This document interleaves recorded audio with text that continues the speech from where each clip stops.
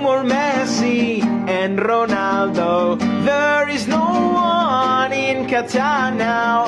Empty stadiums are just left there. Why we are full of new memories. Messi lifting the cup.